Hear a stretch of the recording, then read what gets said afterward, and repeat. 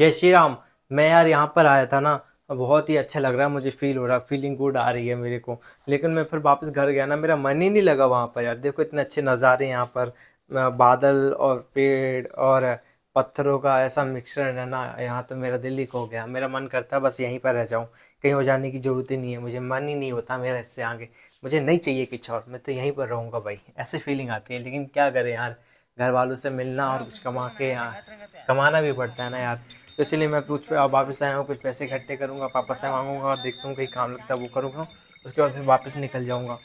और मेरी जो वीडियो ज़्यादातर ऐसी होती है पुरानी हिस्ट्री के हिसाब से कि मतलब हिस्ट्री आप देख सकते हो कि हमारी हिस्ट्री क्या रही होगी हमारे जो अ, मंदिर है वो किस चीज़ पर आधारित है क्या प्रॉब्लम उनमें मतलब किस उन्हें दोस्त किया गया तो कुछ तो वजह रही होगी ना उनके पीछे क्यों दोस्त किया गया कुछ तो खासियत रही होगी ऐसी थोड़ी ना कोई भी कुछ भी दोस्त कर देता है लेकिन देखो खूबसूरती इतनी अच्छी है ना अगर से दोस्त नहीं किया जाता तो खूबसूरती से चार गुना और ज़्यादा होती। और ये देखो नज़ारे सुबह सुबह के मॉर्निंग टाइम के नज़ारे हैं।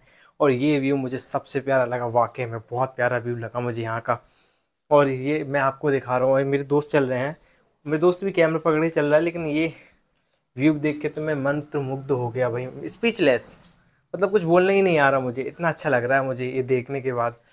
क्या करें भाई? आगे भी चलना पड़ता है और फिर देखते हैं क्या होता है। अब मैं आगे आ गया हूँ, इसे दूसरा कैलाश कहा जाता है। वैसे कैलाश तो ऐसे बहुत है मान्यता के हिसाब से। आदि कैलाश तो एक ही है वो, मानसरोवर वाला, जो चीन के पास पड़ता है तिब्बत में, और वहाँ तो हम जा नहीं सकते, इसलिए हम सेकंड कैलाश आ गए हैं। और ये भी भगवान का ही मान्यता उसके आधार पर रख रखा है यहाँ पर। और देख लो भाई, ये है, दर्शन कर लो आप लोग। जय श्री हर महादेव। और मैं ऐसी ही वीडियो बनाता रहता हूँ। अगर आपको ये वीडियो पसंद हो तो लाइक से कमेंट करिए। और मैं आगे कोशिश करूँगा कि और अच्छी वीडियो बना सकूँ।